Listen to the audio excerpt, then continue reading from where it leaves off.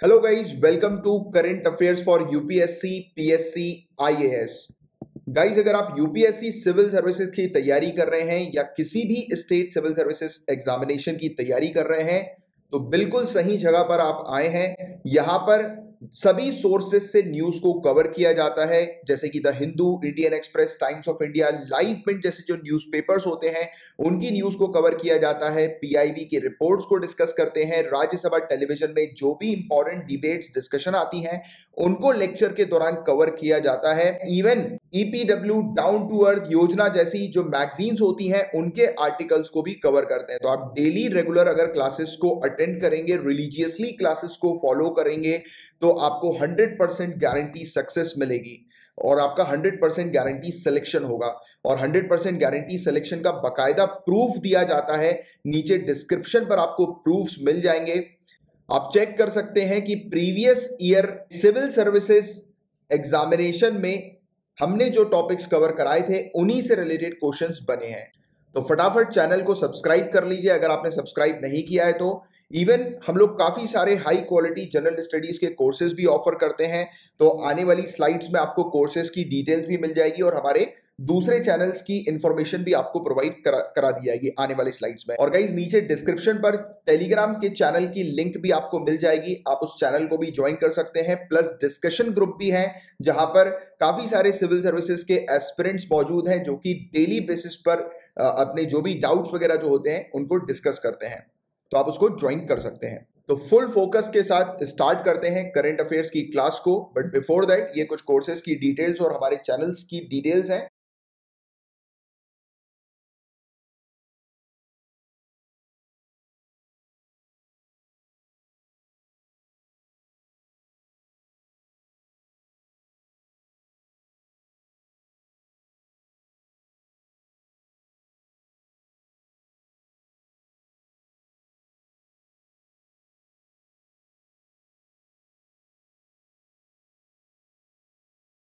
आने वाले कल के I A S I P S officers को मेरा नमस्कार। तो चलिए क्लास को स्टार्ट करते हैं। स्टार्ट करेंगे गई पेपर वन के पहले टॉपिक से।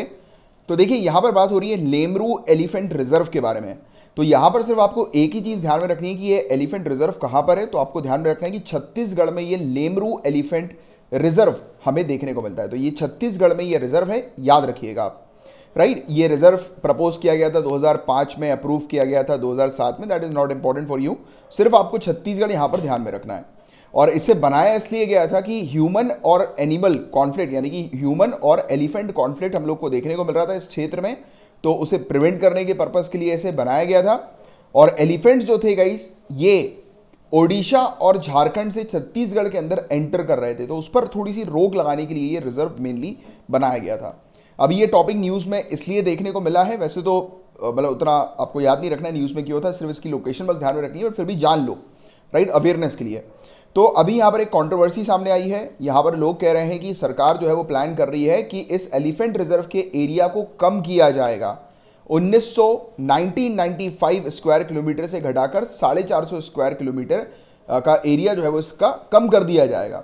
क्यों किया जाएगा कम? तो लोगों का कहना है कि सरकार जो है वो नहीं चाह रही है कि यहाँ पर काफ़ी सारी ऐसी कोयला माइन है जो कि इस रिज़र्व के कारण जो है वो यूज़ ना कर पाए।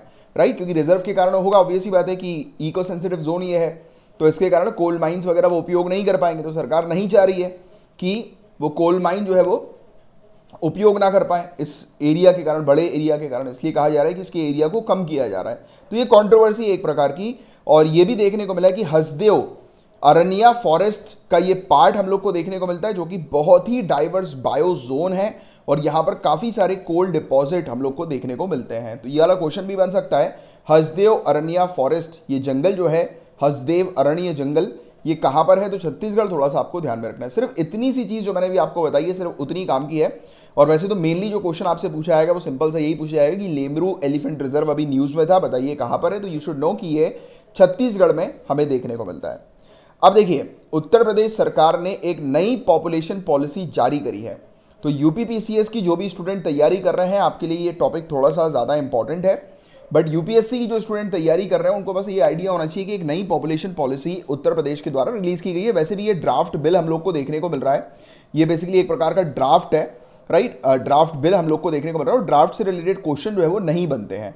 राइट मैंने आपको ये वाली बात पहले भी बताया हुआ है बट फिर भी आपको एक आइडिया होना चाहिए क्योंकि पॉपुलेशन पॉलिसी से रिलेटेड टॉपिक है तो यू शुड नो कि कौन सी स्टेट में किस प्रकार से पॉलिसी लाई जा रही है। तो ये एक इंपॉर्टेंट भी चीज़ें हैं।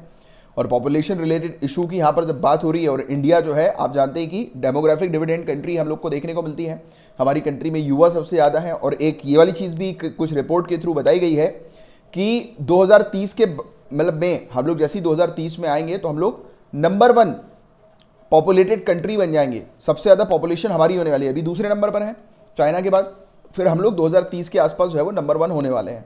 तो ऐसी काफ़ी सारी रिपोर्ट्स ने बताया हुआ है। और 2045 के आसपास ये रिपोर्ट भी सामने आई है कि हमारी कंट्री में सीनियर सिटीजन फिर ज़्यादा होने लगेंगे। क्योंकि अभी जो है वो यंग जनरेशन अब ये यंग जनरेशन मेजोरिटी में है, ज़्यादा मात्रा में है। अब आगे चल के ये यंग जनरेशन बूढ़ी होगी तो फिर इंडिया जो है वो ओल्ड एज की तरफ़ जाएगा। और इंडिया की पॉपुलेशन को रिड्यूस करने के लिए या कंट्रोल करने के पर्पस के लिए बेसिकली उत्तर प्रदेश सरकार ने ये नई पॉपुलेशन पॉलिसी जो है वो लेकर आई है। तो पहला पॉइंट तो आपको ये पता होना चाहिए कि वर्ल्ड पॉपुलेशन डे कब हम लोग को देखने को मिलता है तो 11 जुलाई को। वर्ल्ड पॉपुलेशन डे 11 जुलाई को ऑब्ज़र्व किया जाता है और इसी दिन पर उत्तर प्रदेश ने जारी करी थी नई पॉपुलेशन पॉलिसी इसका मेन एम क्या है? तो इसका मेन एम हम लोग को देखने को मिल रहा है कि टोटल फर्टिलिटी रेट को रिड्यूस करना।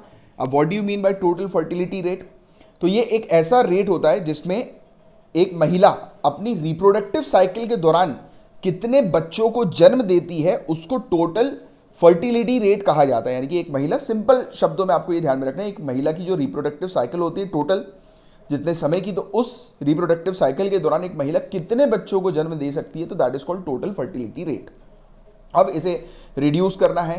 इन्फेंट मॉर्टेलिटी रेट जो नवजात जो शिशु होते हैं, जिन बच्चों का जन्म हुआ होता है तो उनकी जो मृत्यु होती है न्यूबॉर्न बेबीज की तो उस रेट को घटाना है और मैटरनल मॉर्टेलिटी रेट बच्चों को जन्म देते समय जब माताओं की मृत्यु हो जाती है तो उसको हम लोग मैटरनल मॉर्टेलिटी रेट बोलते हैं तो इस रेट को भी घटाना है। तो उसके तीन ये मेन मेन मेजर तौर पर ये पर्पस हम लोग को इसके देखने को मिल रहा है। राइट उत्तर प्रदेश की इस पर्टिकुलर न्यू पॉपुलेशन पॉलिसी के इसके अलावा इस न्यू पॉपुलेशन पॉलिसी को कैसे एग्जीक्यूट करेंगे ये? तो इंसेंटिव प्रोवाइड कराएँगे। जैसे कि सरकारी छुट्टी मिल जाएगी एम्प्लॉयमेंट प्रोविडेंट फंड में कुछ बेनिफिट हो जाएगा। जैसे प्राइवेट सेक्टर के जो लोग हैं, उनको टैक्स वगैरह में थोड़ी सी छूट वगैरह मिल जाएगी। तो ये सब चीज़ें इंसेंटिव के तौर पर प्रोवाइड की जाएगी। उस पर भी बात करेंगे डिटेल में। मैं बस अभी आपको एक जनरल सा ओवरव्यू दे रहा हूँ, जिसको आपको थोड़ा सा ध्यान में रखना है इस टॉपिक से रिलेटेड और इसके अलावा मोस्ट इंपॉर्टेंट चीज़ क्वेश्चन ये भी बन सकता है कि ये न्यू पॉपुलेशन पॉलिसी जो है, वो क्या सभी में स्ट्रिक्टली लागू होगी सभी के लिए उत्तर प्रदेश के अंदर? तो नहीं। ये वॉल्ट्री है। यानी कि जिसको बेनिफिट चाहिए, वो कर ले। राइट यानी कि उसको मतलब ये पालन करें इस पॉपुलेशन पॉलिसी का। राइट तो इस पर हम बात करेंगे। और इसमें एक और मोस्ट इंपॉर्टेंट चीज़ जो आपको ध्यान में रखनी है कि 2021 से लेकर 2030 के पीरियड के लिए ये पॉपुलेशन पॉलिसी जो है वो बनाई है उत्तर प्रदेश सरकार ने। राइट और इसमें इंसेंटिव दिया जाएगा कि जो भी लोग पॉपुलेशन को कंट्रोल करने में मदद करते हैं तो उनको इंसेंटिव मिलेगा। इसमें कॉन्ट्रासेप्टिव जो पिल्स वगैरह होती है ना कॉन्ट्रासेप्टिव पिल्स बर्थ कंट्रोल के लिए तो उसको बढ़ाने की बात की जा रही है, यानी कि अवेयरनेस उससे रिलेटेड बढ़ाई जाएगी। और मतलब लोगों को कहा जाएगा कि लोग कॉन्ट्रासेप्टिव्स का उपयोग करें। इवन मेल कॉन्ट्रासेप्टिव्स की भी यहाँ पर बात हो रही है। राइट तो वाली चीज़ यहाँ पर बताई गई है। तो पॉलिसी नई पॉलिसी का मेन एम क्या है? तो इसमें टोटल फर्टिलिटी रेट जिसके बारे में मैंने आपको समझाया था तो 2.7 से गिराकर इसको 2.1 करना है।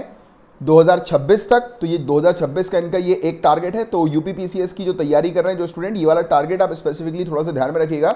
यूपीएससी के लिए ये वाले टारगेट्स इंपॉर्टेंट नहीं है बट यूपीपीसीएस के लिए ज़रूर इंपॉर्टेंट है।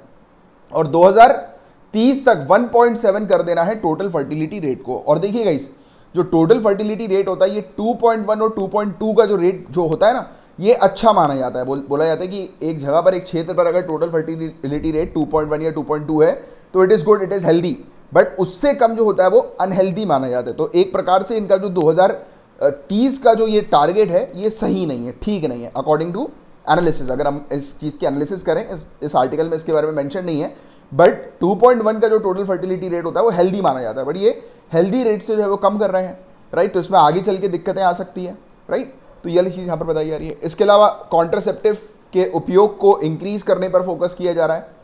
थर्टी परसेंट से बढ़ाकर 45 परसेंट किया जाएगा 2026 तक और 2030 तक इसको बढ़ाकर बावन परसेंट कर दिया जाएगा। तो देखिए, दो चरणों में एक आइडिया हमें लग रहा है कि ये पॉपुलेशन पॉलिसी जो है वो दो चरणों में एग्जीक्यूट की जाएगी। मतलब कि इसके दो टारगेट से एक 2026 वाले टारगेट को अचीव करना और एक 2030 वाले टारगेट को अचीव करना। तो ये भी क्लैरिटी रखो, क्योंकि इसमें हम लोग को डिफरेंसेस देखने को मिल रहा है। दूसरा कि मेल जो मेथड्स हैं कॉन्ट्रासेप्शन के उपयोग के, उसको बढ़ाना है। जैसे कि नसबंदी वगैरह जो हमें देखने को मिलती है तो वो उसको प्रमोट करना है मेल्स में राइट और इसमें टारगेट 2026 का रखा है 10.8 परसेंट से बढ़ाकर 15.1 परसेंट कर दिया जाएगा मेल कॉन्ट्रासेप्टिव के मामले में, और 2030 तक इसको बढ़ाकर 16.4 परसेंट करना है राइट इसके अलावा मेटरनल मॉर्टेलिटी रेट को रिड्यूस करना है, ये 197 से घटाकर 150 कर देना है और फिर 2030 तक 98 करना है। इवन इन्फेंट मॉर्टेलिटी रेट को भी घटाना है 43 से 32 और फिर 22 करना है। राइट और under five infant mortality rate ये 47 से घटाकर 35 करना है और फिर 25 कर देना है। राइट तो ये आप जो यूपीपीसीएस की जो भी स्टूडेंट तैयारी कर रहे हैं, ये टारगेट आप याद रखिएगा, क्योंकि इससे रिलेटेड आपसे क्वेश्चन आएगा। और आप बोलोगे कि सर, अभी आपने बोला था कि ड्राफ्ट बिल से रिलेटेड क्वेश्चन नहीं आता है तो वो इन जनरल की मैंने बात करी थी बट यूपीपीसीएस की जो स्टूडेंट तैयारी कर रहे हैं उनसे ये वाली चीज़ पूछी जा सकती है कि अभी नया बिल प्रपोज किया है, क्योंकि स्टेट सिविल सर्विसेज़ इस प्रकार के क्वेश्चन भी बना देती बट यूपीएससी नहीं पूछेगी आपसे। पहली बात तो यूपीएससी फिगर्स में इतनी ज़्यादा इंटरेस्टेड रहती भी नहीं है। फिगर से रिलेटेड रिलेटेड उनको इंटरेस्ट नहीं होता, उनको मेनली आपके कॉन्सेप्ट से रिलेटेड इंटरेस्ट होता है। तो आपसे टोटल फर्टिलिटी रेट क्या होता है, ये पूछ लेगी हेल्दी टोटल फर्टिलिटी रेट कितनी होनी चाहिए? तो उसका एक आपको आइडिया होना चाहिए 2.1 2.2 राइट क्योंकि ये हेल्दी होती है। तो इसके बारे में भी आपको एक जानकारी होनी चाहिए। ऐसी चीज़ें पूछती है यूपीएससी अब फोकस एरिया इस पर्टिकुलर पॉलिसी में किन किन चीज़ों पर फोकस रखा है? तो पहली बात तो कॉन्ट्रासेप्टिव की एक्सेसिबिलिटी की ज़्यादा से ज़्यादा लोग जो है वो कॉन्ट्रासेप्टिव का उपयोग करें राइट और ये फैमिली प्लानिंग प्रोग्राम के अंडर जो है वो इशू की गई है। इसमें एक प्रॉपर सिस्टम सेफ़ अबॉर्शन का प्रोवाइड करने की भी बात की गई है राइट इसके अलावा न्यू बॉर्न्स और मैटरनल मॉर्टेलिटी रेट यानी कि इन्फेंट मॉर्टेलिटी रेट और मैटरनल मॉर्टेलिटी रेट को रिड्यूस करना, ये इसके फोकस एरिया है। बेटर मैनेजमेंट होना चाहिए, एजुकेशन का, हेल्थ का और न्यूट्रिशन का बेटर मैनेजमेंट करना है कि जो एडल्सेंट, जो बच्चे होते हैं 11 साल से लेकर 19 साल की उम्र के तो उनको एजुकेशन, हेल्थ और न्यूट्रिशन मिलनी चाहिए तो इसका बेटर मैनेजमेंट करना है। इसमें इंसेंटिव क्या दिया जाएगा? तो जो भी लोग जिनके दो या उससे कम बच्चे हैं, उनको प्रमोशन मिलेगा जॉब्स में। इंक्रीमेंट्स दिया जाएगा, यानी कि इंसेंटिव के तौर पर मतलब वो मिल जाएगा, कुछ पैसे वगैरह मिल जाएँगे अकाउंट में, या फिर जैसे होता है ना बोनस वगैरह, वो मिल जाएगा। हाउस की जो स्कीम होती है, घर बनवाने की जो स्कीम होती है, उसमें कुछ आपको सब्सिडी दे दी जाएगी। और भी दूसरे पर्क्स जो हैं एम्प्लॉयज़ के लिए, वो यहाँ पर प्रोवाइड किए जाएँगे। राइट इसके अलावा पब्लिक सर्वेंट हैं तो वो अगर टू चाइल्ड नॉर्म को अडॉप्ट करते हैं तो उन्हें दो एडिशनल इंक्रीमेंट मिल जाएँगे पूरी सर्विस के दौरान। एक तो मैटरनिटी लीव या फिर पैटर्निटी लीव मिल जाएगी बारह महीनों की राइट और दूसरी बात, पूरी सैलरी और अलाइंसेस के साथ, यानी कि फुल सैलरी और अलाइंसेस यानी कि जो इंसान अगर छुट्टी पे है तो बारह महीने के लिए छुट्टी पर रह सकता है, उसके अकाउंट पे पूरी पूरी सैलरी आएगी बिना कुछ कटे। और तीन परसेंट की बढ़ोतरी हो जाएगी एम्प्लॉयर्स कॉन्ट्रीब्यूशन फंड में। तो प्रोविडेंट फंड जो होता है ना तो एम्प्लॉयर्स की तरफ़ से जो कॉन्ट्रीब्यूशन होता है, उसमें तीन परसेंट बढ़ा दिया जाएगा राइट और ये जो कि नेशनल पेंशन स्कीम के अंडर आता है, और जो भी लोग सरकारी एम्प्लॉय नहीं हैं और वो भी अगर पॉपुलेशन कंट्रोल करने में अगर कंट्रीब्यूट करते हैं, यानी कि टू चाइल्ड नॉर्म को अगर फॉलो करते हैं तो उनको टैक्स में रिबेट मिल जाएगा। जैसे कि पानी के ऊपर, घर के ऊपर, घर का जो लोन होता है तो उस पर जो टैक्सेस वगैरह हैं तो उसमें उनको फ़ायदा मिल जाएगा। सब्सिडी भी मिल जाएगी हाउसिंग स्कीम के अंदर बेहतर। तो ये चीज़ यहाँ पर बताई जा रही है। और देखिए, एक बच्चे के पेरेंट अगर वेसेक्टॉमी वेसेक्टॉमी मतलब नसबंदी, इसको अगर चुनते हैं तो ये चीज़ बताई जा रही है कि उनका बच्चा जब तक 20 साल की उम्र का होगा, तब तक फ्री मेडिकल फैसिलिटी जो है वो उनको प्रोवाइड की जाएगी। उत्तर प्रदेश सरकार ने ये भी प्लान किया है कि ये स्टेट पॉपुलेशन फंड एक फंड को भी सेटअप करेंगे। इन पूरे जो उपाय बताए गए हैं, उसको इंप्लीमेंट करने के लिए राइट right? और इसमें अवेयरनेस क्रिएट की जाएगी। ड्राफ्ट बिल इंट्रोड्यूस कर रहा है। पॉपुलेशन कंट्रोल को एक कंपलसरी सब्जेक्ट के तौर पर भी, कि उत्तर प्रदेश के जितने भी सेकेंडरी स्कूल्स हैं वहाँ पर पॉपुलेशन कंट्रोल पर एक टॉपिक जो है, एक सब्जेक्ट जो है वो अलग से पढ़ाया जाएगा अवेयरनेस क्रिएट करने के लिए। और यहाँ पर यह बताया जा रहा है कि जिन लोगों की उम्र, यानी कि मेल की अगर हम बात करें तो 21 साल से ऊपर फीमेल की अगर बात करें तो 18 साल से ऊपर। तो इनकी, इन कपल की अगर शादी होती है तो इनके लिए ये कानून एप्लीकेबल है इन लोगों के लिए और वॉलेंट्री है, यानी कि खुद की इच्छा से। स्वैच्छिक ये हम लोग को देखने को मिल रही है। राइट, और आज की डेट में इस प्रकार के कानून की क्या आवश्यकता है? ऐसा अगर मेंस में कुछ क्वेश्चन आ जाए कि पॉपुलेशन कंट्रोल करने की क्या आवश्यकता है तो बहुत ज़्यादा आवश्यकता है, क्योंकि जब ओवर पॉपुलेशन होती है, अब यहाँ पर मैं ये जो आर्टिकल में लिखा है, इससे बाहर का कुछ आपको बताना चाहूँगा। क्योंकि क्या होता है कि आर्टिकल्स तो सभी अवेलेबल हैं राइट सभी लोग पढ़ सकते हैं आर्टिकल न्यूज़पेपर में सभी अवेलेबल हैं। बट आपको अगर एग्ज़ाम क्रैक करना है तो you need to go one step forward आपको एक स्टेप फॉरवर्ड जाने की सख्त आवश्यकता है। आप यहाँ पर मेंशन करेंगे पोवर्टी गरीबी, क्योंकि ये देखो, यहाँ पर भी वैसे लिखा यही हुआ है बट क्लैरिटी के साथ नहीं लिखा राइट जैसे कि ज़्यादा पॉपुलेशन होगी तो ज़्यादा पॉपुलेशन होगी तो प्रॉपर तरीके से रिसोर्सेज जो है वो डिस्ट्रीब्यूट नहीं होंगे राइट जैसे कि एक खेत है एग्ज़ाम्पल के तौर पर इमेजिन करो, एक खेत है, उस खेत पर खाने वाले, यानी कि उस खेत पर जो प्रोडक्शन होता है, उसको खाने वाले पाँच लोग हैं। अब वो दस लोग हो जाए तो पहले आराम से सब पाँच लोगों का पेट भर रहा था, अब बेचारों को आधे पेट सोना पड़ रहा होगा राइट तो ये क्या हो रहा है? कम मतलब रिसोर्सेज पर्याप्त है बट पॉपुलेशन बहुत ज़्यादा हो गई तो सही तरीके से रिसोर्सेज डिस्ट्रीब्यूट नहीं हो पा रहा है, जिसके चलते सही तरीके से बेसिक नीड्स तक नहीं मिल पा रही है लोगों को। तो ये तो एक बात हो गई। ये वाली, कि रिसोर्स से अगर हम लोग इस चीज़ को देखें प्रोडक्शन से अगर हम इस चीज़ को देखें तो ज़्यादा पॉपुलेशन होगी तो डिस्ट्रीब्यूशन प्रॉपर नहीं होगा डिस्ट्रीब्यूशन प्रॉपर नहीं होगा तो फिर ये दिक्कतें आएँगी, जैसे गरीबी भी उनमें से एक दिक्कत है। अब जब गरीबी आएगी, तब क्या होगा? सरकार के ऊपर भी प्रेशर बनेगा। अब कैसे प्रेशर बनेगा? सरकार को पुअर लोगों के लिए, गरीब लोगों के लिए जो है वो वेरियस स्कीम्स बनानी पड़ती हैं राइट अपलिफ्ट करना पड़ता है, गरीबी को खत्म करने के लिए वेरियस प्रोग्राम्स लाने पड़ते हैं सब्सिडी देनी पड़ती है। तो सरकार का मेजर जो रिज़र्व है राइट यानी कि जो सरकार की जो इनकम आप कह सकते हो, वो कहाँ पर जाएगी? इन सब चीज़ों में चली जाएगी राइट गरीबी को खत्म करने में सब्सिडी में चली जाएगी रैदर देन इन्वेस्टमेंट करने की जगह रैदर देन डेवलपमेंट करने की जगह सब्सिडी में जाती रहेगी। राइट तो ये एक बड़ा दिक्कत वाली कहानी है। अगर ये चीज़ होती रहेगी तो कंट्री डेवलप नहीं करेगी कंट्री में ग्रोथ नहीं आएगी, क्योंकि सरकार मेनली अपना जो कमाई है मेन तौर पर जो रिज़र्व है सरकार के पास, वो किसको देगी? गरीबों को देगी। उनकी बेसिक और डेली नीड्स को फुलफिल करने में।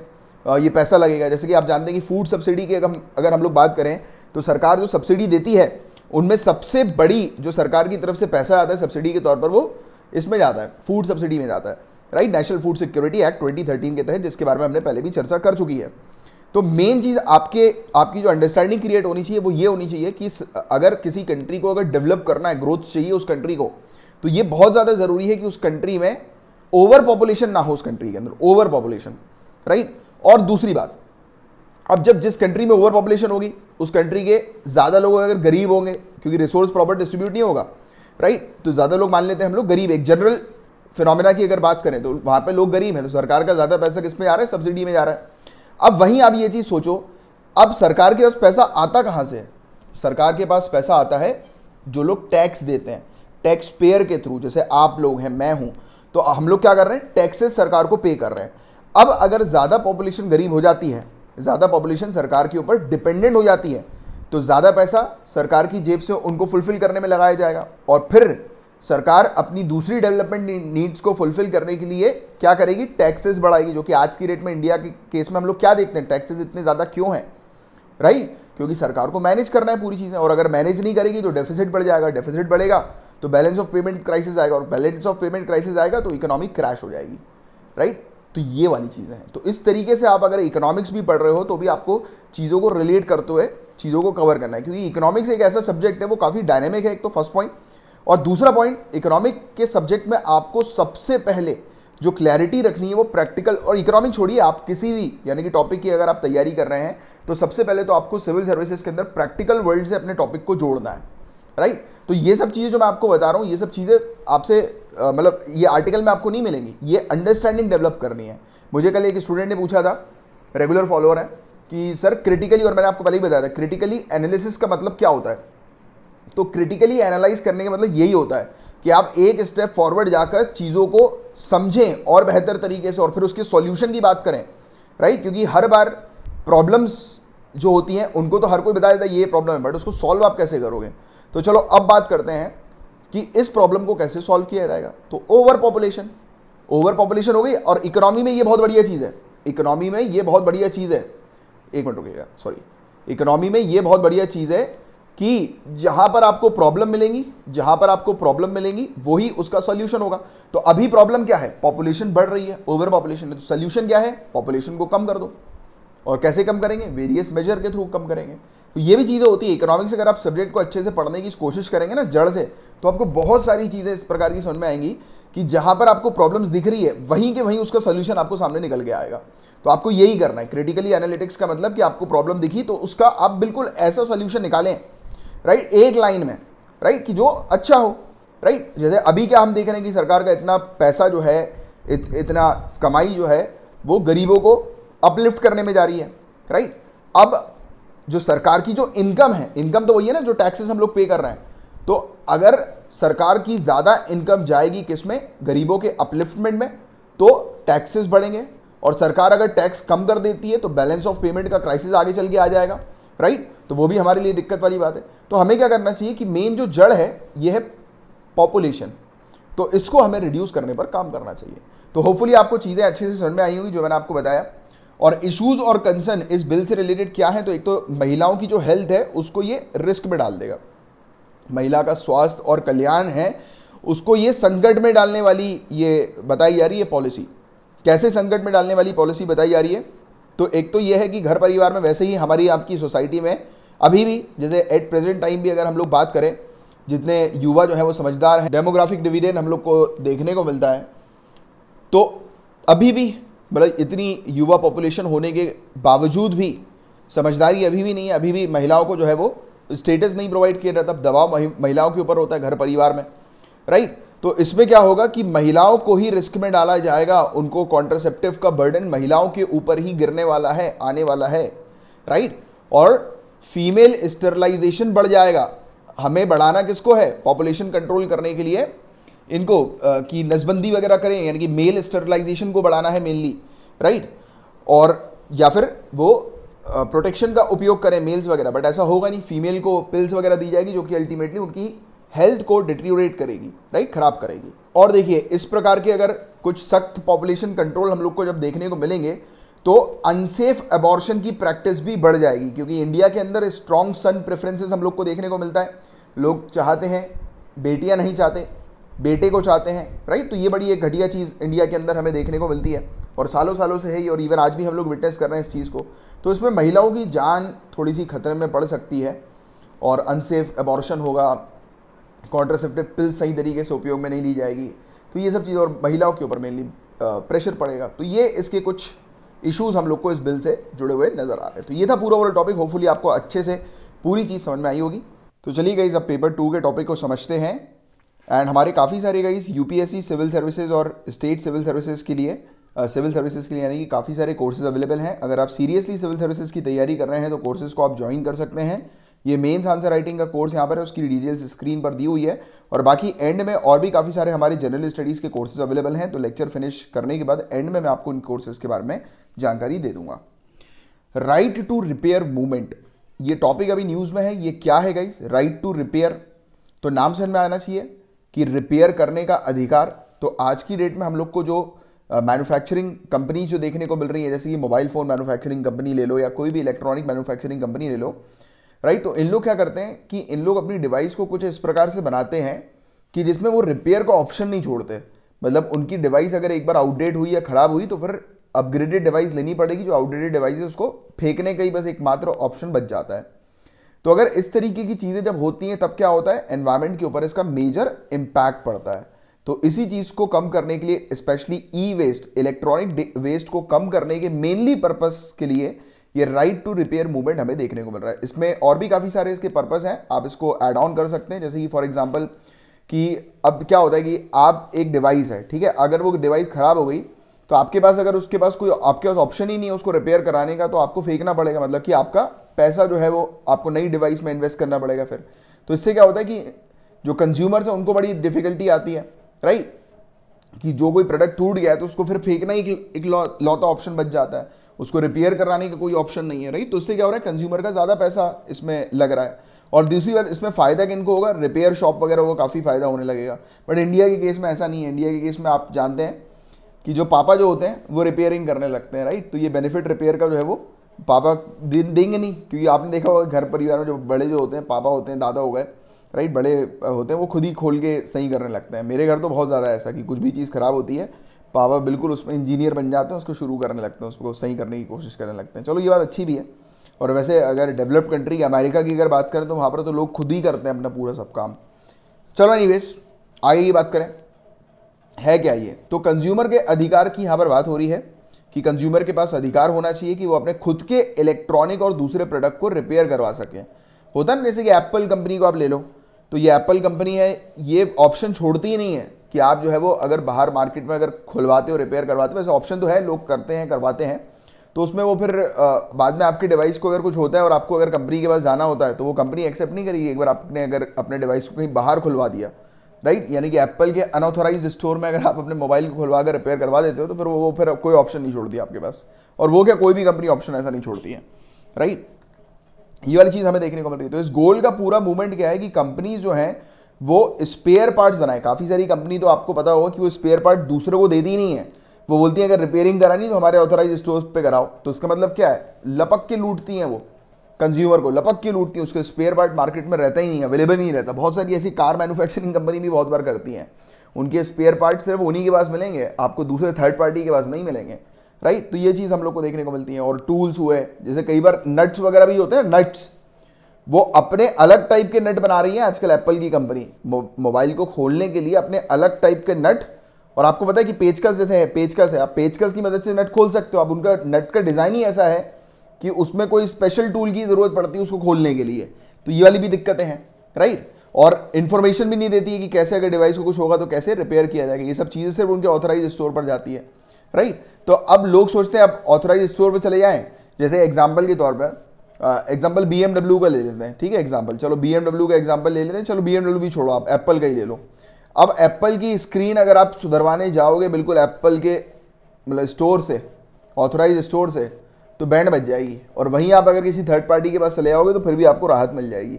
राइट बट काफ़ी सारे लोग जाते नहीं अब ऐसे प्रोडक्ट जो लोग यूज़ करेंगे ऑब्वियसली बात है कि वो थोड़ा ना रिस्क में डालेंगे। वो सोचेंगे कि यार थर्ड पार्टी में जाने की बजाय थोड़े पैसे ज़्यादा दे दो कंपनी के पास ही चले जाओ। बट अल्टीमेटली कंपनी का करती है? कंज्यूमर को लूट रही है। ये चीज़ तो गलत है ना। तो इन सब चीज़ों पर रोक लगाने के लिए राइट टू रिपेयर हमें टॉपिक न्यूज़ में देखने को मिला है। तो यह पॉइंट्स आपको पता होने चाहिए। और इस मूवमेंट की जो जड़ें हम लोग को देखने को मिलती हैं, इसकी शुरुआत हो गई थी 1950 से ही। और देखिए, ये मूवमेंट क्यों स्टार्ट हुआ था? क्या मोटिव था इस मूवमेंट के पीछे? तो हम देखते हैं कि इलेक्ट्रॉनिक मैन्युफैक्चरर्स क्या करते हैं।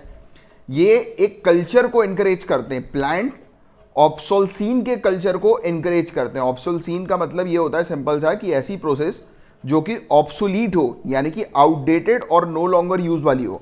मतलब कि एक प्रोडक्ट आप मैन्युफैक्चरर से खरीदो, उसके बाद फिर आप मतलब आपके सिर्फ़ एक ही ऑप्शन बचना चाहिए कि वो प्रोडक्ट जो है, वो क्या हो जाए? मतलब आपको उसको फेंकना ही है मतलब नया प्रोडक्ट खरीदना पड़े आपको। तो ऐसी चीज़ हमें देखने को मिलती है, यानी कि लिमिटेड अमाउंट ऑफ़ टाइम तक वो लास्ट ही करता है, यानी कि लिमिटेड अमाउंट ऑफ़ टाइम तक राइट या फिर आपको उसको रिप्लेस करना पड़ता है, नए प्रोडक्ट को जो है वो लेना पड़ता है उसके एवरेज में। तो ये काफ़ी ज़्यादा इलेक्ट्रॉनिक मैन्युफैक्चरर्स इसी चीज़ को काफ़ी ज़्यादा प्रमोट करते हैं, क्योंकि उससे उनको बिज़नेस मिलता है ना प्रॉफिट मिलता है राइट इलेक्ट्रॉनिक मैन्युफैक्चरर को प्रॉफिट कैसे मिलेगा? आप एप्पल का ही प्रोडक्ट आप देख लो, हर एक डेढ़ साल में वो नया प्रोडक्ट लेकर आता है। लोग जो है वो पुराने प्रोडक्ट को हटाकर, छोड़कर नए प्रोडक्ट पर जाते हैं और उसकी रीसेल वैल्यू भी नहीं होती है। राइट तो ये चीज़ भी आप, लोग लाख लाख रुपए का मोबाइल खरीद लेते हैं, अब उसकी रीसेल वैल्यू भी उतनी अच्छी नहीं है। और दूसरी, दूसरे तीसरे साल एक नया मोबाइल आ जाता है, फिर वो उसकी तरफ़ चले जाते हैं, इस मोबाइल को शिफ्ट कर देते हैं। तो ये वाली हरकतें बहुत ज़्यादा है, और आज की रेट में बहुत ज़्यादा बढ़ भी गई है। इस प्रकार से कंपनी बहुत कमा रही है, करोड़ों अरबों रुपये कमा रही है। राइट तो इसमें क्या हो रहा है? ऐसी हरकतों के कारण एनवायरमेंट के ऊपर प्रेशर पड़ रहा है। क्यों एनवायरमेंट के ऊपर प्रेशर पड़ रहा है? तो इसके बारे में हमने बात करी। ई वेस्ट जनरेट हो रहा है काफ़ी ज़्यादा। राइट और कंज्यूमर ऑब्वियस ही बात है कि कंज्यूमर की हालत खराब हो रही है। कंज्यूमर मैन्युफैक्चरर्स के ऊपर डिपेंडेंट हो गया है। एक तो वो रिपेयर भी नहीं करा पाएगा और अगर रिपेयर करने का ऑप्शन है तो ऑथोराइज स्टोर में है और ऑथोराइज स्टोर में रिपेयर करना बहुत ज़्यादा महँगा पड़ जाता है। जैसे होता है ना कि हाथी तो पाल लो, आप हाथी मतलब बीएमडब्ल्यू तो पाल लो। अब बी का अगर एक्सीडेंट हो जाए उसको रिपेयर करने में जान निकल जाती है। वैसे एप्पल एप्पल को तो खरीद लो बट एक बार गिर गया ना तो बस बैंड बज गई फिर तो फिर उसको रिपेयर करने में बैंड बच जाएगी। और देखिए राइट टू रिपेयर का बेनिफिट जो है वो स्मॉल रिपेयर शॉप को काफ़ी ज़्यादा मिल, मिलने लगेगा राइट और साथ ही साथ राइट टू रिपेयर लॉस भी काफ़ी सारी कंट्रीज़ के अंदर हम लोग को देखने को मिलता है राइट काफ़ी सारी कंट्रीज़ के अंदर ये कानून भी अभी लाया जा रहा है। जैसे कि यूएसए यूके की आप बात करो तो यहाँ पर हम लोग को कानून देखने को मिल रहे हैं इस प्रकार के राइट टू रिपेयर के राइट और कौन लोग इसको अपोज कर रहे हैं तो ऑब्वियस ही बात है कि ये जो जाइंट से बड़े बड़े एप्पल माइक्रोसॉफ्ट इसको अपोज कर रहे हैं। क्यों अपोज कर रहे हैं? तो देखिए, ये इनका कहना है कि इनकी इंटेलेक्चुअल प्रॉपर्टी को ऐसे ओपन अप मत करो राइट मतलब कि इनकी ये खुद की इंटेलेक्चुअल प्रॉपर्टी है, इनके खुद के ये प्रोडक्ट है। और अगर आप थर्ड पार्टी को अगर इस प्रकार से ऑप्शन दे दोगे थर्ड पार्टी रिपेयर सर्विस का ऑप्शन दे दोगे तो इसके कारण एक्सप्लॉइटेशन होगा, इनकी सेफ्टी और सिक्योरिटी डिवाइसेस जो है, उस पर इंपैक्ट पड़ेगा। तो अपन ने बोला, झूठ बोल रही है लोग, इनको प्रॉफिट से मतलब है, इनको इन सब चीज़ों से मतलब नहीं है। तो ऑब्वियस ही बात है, अब मैन्युफैक्चरर है प्राइवेट मैन्युफैक्चरर उसको तो सिर्फ़ एक ही चीज़ से मतलब हो ना कमाई से। तो अब वो क्यों बोलेगा ऐसा? वो दूसरा ऑप्शन झूठ झूठ तो बोलेगा ही बोलेगा राइट और साथ ही साथ बोल रहे हैं कि ये तो बढ़िया डेटा सिक्योरिटी पे साइबर सिक्योरिटी पे एक बड़ा खतरा हो सकता है, इस प्रकार से अगर राइट टू रिपेयर दे दिया जाए तो। तो हमें पता है कि ये लोग झूठ बोल रहे हैं राइट तो ये वाली चीज़ है जिसके बारे में आपको बस बेसिक सा आइडिया होना चाहिए, जानकारी बस होनी चाहिए। अब देखो, महाराष्ट्र के अंदर फेबररी से ही कोई भी स्पीकर नहीं है महाराष्ट्र की स्टेट लेजिस्लेटिव असेंबली में राइट और अभी हम लोग को देखने को मिल रहा है कि डेप्यूटी स्पीकर जो है स्पीकर के बदले में स्पीकर की पोस्ट वेकेंट है तो डेप्यूटी स्पीकर जो है वो प्रिसाइड किए हुए हैं यानी कि वो संभाल रहे हैं राइट आ, उसको स्टेट लेजिस्लेटिव असेंबली को। इवन लोकसभा और काफ़ी सारी स्टेट की असेंबली में हम लोग को डेप्यूटी स्पीकर भी नहीं देखने को मिलते हैं राइट तो ये चीज़ भी आप देखेंगे कि कहीं पर डेप्यूटी स्पीकर है कहीं पर नहीं है। कहीं पर स्पीकर है स्पीकर नहीं है तो उसकी जगह पे डेप्यूटी स्पीकर और काफ़ी सारी स्टेट्स पे तो डेप्यूटी स्पीकर की पोस्ट है ही नहीं, इवन पार्लियामेंट की भी बात करें तो डेप्यूटी स्पीकर है ही नहीं, राइट? अब आपसे ये सब चीज़ें तो ऐसे ही है, आपसे जो क्वेश्चन पूछा जाएगा, वो स्पीकर और डेप्यूटी स्पीकर से रिलेटेड पूछा जाएगा। तो देखो, स्पीकर और डेप्यूटी स्पीकर के बारे में किस आर्टिकल के अंदर मेंशन है तो आपको आर्टिकल ध्यान में रखना है। लोकसभा के लिए आर्टिकल 93 बात करता है डेप्यूटी स्पीकर और स्पीकर के बारे में, और इसके बारे में, स्टेट लेजिस्लेटिव असेंबली के बारे में आर्टिकल 178 बात करता है। तो आपको ये दोनों आर्टिकल याद रहने चाहिए। इसको याद कर लो। 93 और 178 ये किससे रिलेटेड है? स्पीकर और डेप्यूटी स्पीकर से रिलेटेड ये हमें देखने को मिलता है।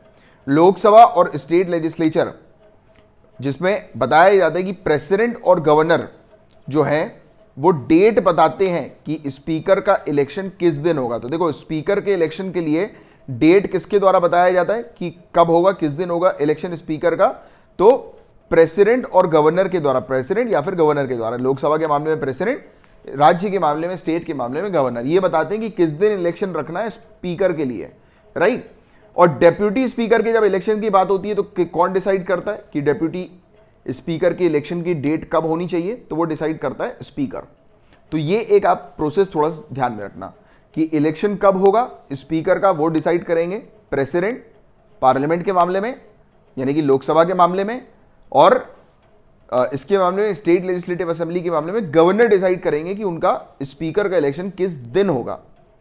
फिर स्पीकर का इलेक्शन हो गया। फिर स्पीकर डिसाइड करेगा कि डेप्यूटी स्पीकर का इलेक्शन जो है वो किस दिन होगा। तो ये वाली बस प्रोसेस आप थोड़ी पहले तो ध्यान में रखना। और स्पीकर और डेप्यूटी स्पीकर, ये कहाँ से चुने जाते हैं? तो ये हाउस के ही सदस्य होते हैं, उसी हाउस से चुने जाते हैं। जैसे कि लोकसभा के जो स्पीकर होंगे, या डेप्यूटी स्पीकर अभी तो नहीं है, बट स्पीकर होंगे तो वो लोकसभा के ही सदस्य होंगे। स्टेट लेजिस्लेटिव असेंबली के जो स्पीकर होंगे, वो स्टेट लेजिस्लेटिव असेंबली के ही सदस्य होंगे। तो ये वाली भी क्लियरिटी रखोएगा अब इनके रोल्स और फ़ंक्शन क्या होते हैं? एक तो प्रिंसिपल स्पोक्समैन होते हैं ये। आपने देखा होगा, कभी मौका मिले तो देखना ज़रूर, जब भी सेशन होता है तो देखा करो। सेशन के दौरान लोकसभा, राज्यसभा के जो सेशन होते हैं तो उसको जो प्रिसाइड करने वाली जो अथॉरिटी होती है, राज्यसभा के मामले में तो हम लोग उनको वो बोलते हैं चेयरमैन बोलते हैं राज्यसभा के राइट तो वो वाली चीज़ होती है बट आपको देखना चाहिए ये सब चीज़ें। इसमें देखने में एक तो मतलब आप जो थ्योरी जो पढ़ रहे हो राइट ये सब चीज़ें आप पढ़ रहे हो तो जब प्रैक्टिकल चीज़ों को जब आप सामने देखते हो तो और अच्छे से अंडरस्टैंडिंग बिल्डअप होती है। तो देखा करो। तो जब भी, दोनों हाउसेज जो होते हैं पार्लियामेंट के यानी कि लोकसभा और राज्यसभा इनकी जब ज्वाइंट सिटिंग हमें देखने को मिलती है तो स्पीकर जो होते हैं वो प्रिसाइड करते हैं यानी कि स्पीकर ऊपर बैठे रहते हैं और मीटिंग करवाते हैं। राइट आपने देखी होगा टीवी में। और स्पीकर के डिसीज़न जैसे कि कोई भी बिल जो है वो मनी बिल है कि नहीं है उसको निर्धारित करता है स्पीकर यानी कि स्पीकर ही बताएँगे कि कोई बिल मनी बिल माना जाएगा या ऑर्डिनरी बिल माना जाएगा। तो ये वाली चीज़ आप थोड़ी सी ध्यान में रखिएगा। और स्पीकर जो होते हैं वो हम लोग को देखने को मिलता है कि रूलिंग पार्टी से इलेक्ट होकर आते हैं और ऐसा कहीं भी कॉन्स्टिट्यूशन के अंदर नहीं लिखा बट ये प्रैक्टिस चली आ रही है। इस आधार पर हमें देखने को मिलता है कि जनरली स्पीकर रूलिंग पार्टी के होते हैं तो point to be noted right और इंडिपेंडेंस स्पीकर की इंडिपेंडेंस के लिए कॉन्स्टिट्यूशन ने यह चीज़ इंश्योर करी है कि स्पीकर इंडिपेंडेंट तरीके से कार्य करें अपने। तो उनकी जो सैलरी होती है वो कंसोलिडेटेड फंड ऑफ़ इंडिया के ऊपर हमें देखने को मिलती है। और पार्लियामेंट में इनकी सैलरी को लेकर कोई भी वोटिंग वगैरह नहीं होती राइट तो ये चीज़ है जो कि इनकी पोस्ट को जो है वो इंडिपेंडेंट बनाती है। और साथ ही साथ मेंबर जो पार्लियामेंट के हमें देखने को मिलते हैं, वो सिर्फ़ और सिर्फ़ स्पीकर को ही एड्रेस करते हैं। मतलब कि आपने देखा होगा जब एमपी खड़े होकर बोलते हैं राइट हाउस के अंदर तो एमपी किसको बोलते हैं? स्पीकर मैडम को बोलते हैं राइट बोलते नहीं, आपने कई बार सुना होगा स्पीकर मैडम ये हमारी बात है, ये सुनिए। राइट तो वो डायरेक्ट दूसरे एमपी को नहीं बोलते हैं। वो डायरेक्ट उनकी जो बात होती है, वो उनका जो मैसेज होता है, वो स्पीकर को होता है। और माना ये जाता है कि उनके जो मैसेज है, वो स्पीकर हाउस में कन्वे करते हैं। राइट तो ये वाली चीज़ हम लोग को देखने को मिलती है। और कॉन्स्टिट्यूशन में कहीं पर भी नहीं लिखी है कोई भी प्रकार की ना टाइम लिमिट ना प्रोसेस कि स्पीकर का इलेक्शन की प्रोसेस क्या होगी और उनकी टाइम लिमिट क्या होगी, कहीं पर भी नहीं लिखा है। राइट तो ये वाली क्लियरिटी भी आप अपने माइंड में रखिएगा। कहीं पर भी नहीं लिखा है कि स्पीकर के जो मतलब इलेक्शन जो होंगे वो कितने समय में करवाने हैं और इलेक्शन की प्रोसेस क्या होगी, कहीं पर भी नहीं लिखा है तो पॉइंट टू बी नोटेड ये लेजिस्लेचर के ऊपर छोड़ दिया गया है मतलब कि हाउस के ऊपर छोड़ दिया गया है कि हाउस डिसाइड करे कि इनका इलेक्शन कैसे होगा और क्या प्रोसीजर होगी। एग्ज़ाम्पल के तौर पर अगर स्टेट्स की बात करें, हरियाणा और उत्तर प्रदेश की तो इन्होंने एक स्पेसिफाई किया है टाइम फ्रेम हरियाणा की केस में हमें देखने को मिलता है कि स्पीकर का जो इलेक्शन होता है राइट स्पीकर का इलेक्शन तो जैसे ही जनरल इलेक्शन होता है हाउस का तो उसके बाद तुरंत जो है वो स्पीकर का इलेक्शन हो जाता है। और फिर सात दिन के अंदर अंदर डेप्यूटी स्पीकर भी इलेक्ट कर दिए जाते हैं। तो ये हरियाणा का केस है। और रूल्स भी जो है वो इस प्रकार से स्पेसिफाई किए गए हैं कि अगर पोस्ट वेकेंट होती है, जैसे फॉर एग्ज़ाम्पल स्पीकर की पोस्ट वेकेंट है तो आप तुरंत सात दिन के अंदर अंदर मतलब लेजिस्लेचर के अगले इलेक्शन के सात दिन के अंदर अंदर तुरंत जो है वो उसकी पोस्ट को फुलफिल करें। राइट तो ये चीज़ हम लोग को देखने को मिलती है कि सात दिन में इलेक्शन होना है। तो ये हरियाणा में लिखा हुआ है। उत्तर प्रदेश के केस में पंद्रह दिन की लिमिट है इलेक्शन की स्पीकर के पोस्ट के लिए। अगर स्पीकर की पोस्ट असेंबली के अंदर वो वाली पद उनका खाली हो जाता है तो पंद्रह दिन के अंदर अंदर आपको इलेक्शन कराना है उत्तर प्रदेश के केस में। और डेप्यूटी स्पीकर के केस में डेट जो है इलेक्शन की वो स्पीकर डिसाइड करेंगे और तीस दिन के अंदर अंदर तो वैकेंसी को फुलफिल करना ये वाला प्रावधान यहाँ पर उत्तर प्रदेश ने दिया हुआ है। तो ये कुछ बेसिक सी डिटेल्स है बट यूपीएससी लेवल के लिए आपको सिर्फ़ पता होनी चाहिए कि अलग अलग स्टेट ने अलग अलग अपना वो रूल्स बना के रखा हुआ है इलेक्शन के टाइम फ्रेम को लेकर और इलेक्शन की प्रोसेस को लेकर राइट और बाकी कॉन्स्टिट्यूशन में इसके बारे में मेंशन नहीं है बट अगर आप यूपीपीसीएस की या हरियाणा की तैयारी कर रहे हैं तो ये थोड़ा सा बस ध्यान में रख लेना, ये लिमिट वगैरह टाइम लिमिट वगैरह। अब देखिए स्पीकर के बारे में कुछ चीज़ें गो थ्रू करें तो आप जानते हैं प्रिसाइडिंग ऑफिसर है हाउस के ये राइट लोकसभा के अंदर। और स्पीकर जो होते हैं लोकसभा के, वो सभी के सभी जो इलेक्टेड मेंबर होते हैं लोकसभा के, उन्हीं से चुने जाते हैं और स्पेशल मेजोरिटी के थ्रू इनका चुनाव होता है। तो ये वाला पॉइंट भी ध्यान में रखना। कोई भी मेंबर जो लोकसभा के होते हैं राइट वो नॉमिनेट किए जा सकते हैं एज अ स्पीकर के तौर पर। और हालाँकि हमें देखने को मिलता है कि एक कन्वेंशन चला आता है कि रूलिंग पार्टी या मेजोरिटी पार्टी जो होती है, उन्हीं में से ही एक कैंडिडेट स्पीकर के पद के लिए चुना जाता है। इनके फ़ंक्शंस और इनके पावर क्या होते हैं तो उसके लिए आप स्कूल के मॉनिटर के फ़ंक्शन को थोड़ा सा ध्यान में रखिएगा। स्कूल के मॉनिटर का फ़ंक्शन क्या होता है कि डिसिप्लिन मेंटेन करके रखना। क्लासरूम के अंदर राइट तो स्कूल में आप आप भी मॉनिटर बने होंगे अपनी क्लास के राइट तो आपको पता होगा तो वैसे ही कुछ होता है। तो स्पीकर जो होते हैं लोकसभा के, वो बेसिकली हेड होते हैं हाउस के फ़र्स्ट पॉइंट पार्लियामेंट की सिटिंग को ये कंट्रोल करते हैं और उसके कार्यों को कंट्रोल करने का मेनली इनका काम हम लोग को देखने को मिलता है। और स्पीकर की इंडिपेंडेंस के बारे में हमने बात करी ली कि कंसोलिडेटेड फंड ऑफ़ इंडिया के ऊपर इनकी सैलरी चार्ज की जाती है और पार्लियामेंट में इनकी सैलरी को लेकर कोई वोटिंग नहीं होती। और देखिए, वैसे तो स्पीकर वोट डालते नहीं है। तो ये पॉइंट आप ध्यान में रखना, बिल पर स्पीकर वोट नहीं डालते हैं। ये नॉर्मल सर्कमस्टांसिस में होता है बट एब नॉर्मल सर्कमस्टांस की बात करें मतलब कि जब टाई हो जाता है तो टाई हो जाता है तो फिर स्पीकर की तरफ़ देखा जाता है और स्पीकर फिर अपने वोट को डालकर फाइनल फैसला लेते हैं। तो ये चीज़ आप लोग को थोड़ी सी ध्यान में रखनी है कि जब रूलिंग पार्टी और अपोजिशन पार्टी के बीच में कुछ वोट्स का टाई हो गया अगर तो उस समय स्पीकर जो है, वो उस समय अपने वोट का इस्तेमाल करते हैं। राइट तो ये चीज़ आप लोग को ध्यान में रखनी है। और स्पीकर डिसाइड करते हैं कि वेरियस डिस्कशन का एजेंडा क्या होगा। अच्छा ये वाली जो टाई की जो मैंने आपको बात करी ना तो जब स्पीकर को निकालने से रिलेटेड जब रेजोल्यूशन हाउस में आता है, और उस समय अगर कुछ टाई हो गया तो भी स्पीकर जो है वो वोट नहीं डालेंगे। तो ये वाला पॉइंट भी आपको क्लियर रखना है कि इनके रिमूवल के लिए ये वोट नहीं डालेंगे। मतलब ऐसा नहीं होना चाहिए कि इनके रिमूवल के लिए ऑब्वियसली बात है, वो तो फिर पक्ष में डालेंगे नहीं इनको हटाने के। राइट तो वाली चीज़ हम लोग को देखने को मिलती है। और स्पीकर जो होते हैं इनके पास हाउस को एडजर्न करने की पावर होती है हाउस की मीटिंग को या सस्पेंड करने की पावर होती है हाउस को या हाउस की मीटिंग को। अगर कोरम नहीं बन पाता है तो राइट कोरम का मतलब क्या होता है? अगर हाउस में, जैसे हाउस की टोटल मेंबरशिप है, उसमें 10 परसेंट मेंबर या वन टेंथ जो मेंबर होते हैं, उसको कोरम बोलते हैं। तो ऐसा माना जाता है कि हाउस जो है, वो उसकी सिटिंग तभी बैठती है जब हाउस के टोटल मेंबरशिप के 10 परसेंट लोग वहाँ पर उपस्थित हों। तो अगर वहाँ पर 10 परसेंट लोग उपस्थित नहीं है तो ये एडजन कर दिया जाता है या सस्पेंड कर दिया जाता है हाउस को या हाउस की मीटिंग को राइट और मैंने आपको बताया कि ये क्या होते हैं? ये मॉनिटर होते हैं क्लास के। तो हाउस के ये मॉनिटर होते हैं डिसिप्लिन को इंश्योर करते हैं डेकोरम हाउस का बना रहे तो उस पर ये मेनली काम करते हैं राइट स्पीकर देखते हैं कि अगर कोई मेंबर सही तरीके से बिहेव नहीं कर रहा है, उसका बिहेवियर पार्लियामेंट के अंदर अच्छा नहीं है तो उसको पनिश भी किया जा सकता है, उसको सस्पेंड करके। राइट? और स्पीकर डिसाइड करते हैं, जैसा हमने बात करी कि एक बिल मनी बिल होगा या नहीं होगा, और स्पीकर के डिसीज़न को चैलेंज नहीं किया जा सकता है। और स्पीकर जो है वो फाइनल और सोल अथॉरिटी है। ये अलाउ कर सकते हैं अलग अलग प्रकार के मोशन को रेजोल्यूशन को पास होने से, जैसे कि नो कॉन्फिडेंस मोशन पास होना है कि नहीं होना तो वो स्पीकर डिसाइड करेंगे फाइनल अथॉरिटी ये होते हैं। Motion of adjournment censure motion तो ऐसे जो मोशन होते हैं तो उस पर फाइनल अथॉरिटी जो होती है, वो स्पीकर की हमें देखने को मिलती है। और स्पीकर जो होते हैं लोकसभा के, ये, अब देखिएगा, जैसे सरकार गिर गई, ठीक है मैंने आपको क्या बताया मेजोरिटी पार्टी पार्टी से आते हैं स्पीकर अब सरकार गिर गई मतलब असेंबली खाली हो गई। बट जब असेंबली खाली हो जाती है तो भी स्पीकर जाते नहीं है। जब नई जब सरकार बनती है और जब फिर से पूरी असेंबली आती है तो आप ये कह सकते हो कि जब नई सरकार बनती है, उसका जो पहला दिन होता है तो उसमें पुराने स्पीकर वहाँ पर रहते हैं। यानी कि पिछली सरकार के स्पीकर रहते हैं। राइट, फिर नए स्पीकर का चुनाव होता है। तो ये चीज़ हमें देखने को मिलती है। तो जब जब असेंबली डिजोल्यूशन हो जाती है, यानी कि असेंबली गिर गई डिजोल्व हो गई, भंग हो गई तो उसके बाद भी जो है वो ऑफ़िस पे रहते हैं। वो ऑफ़िस छोड़ते नहीं है। और उनका ऑफ़िस तब तक चलता है जब तक एक नई असेंबली की पहली मीटिंग हो जाए और एक नए स्पीकर इलेक्ट हो जाए। तो जब नया स्पीकर आएगा, तभी वो अपने पोस्ट को जो है वो छोड़ेंगे। तो ये वाला पॉइंट बहुत इंपॉर्टेंट है, ये ध्यान में रखना। कभी कभी ऐसे स्टेटमेंट बनाकर उलझाया जा सकता है कि जब हाउस जैसे कि पहले स्टेटमेंट में मेंशन कर दिया जाएगा कि हाउस जो मेजोरिटी मतलब जो मेजोरिटी पार्टी जो होती है, उसी से ही स्पीकर को चुना जाता है। तो ये स्टेटमेंट बिल्कुल करेक्ट है।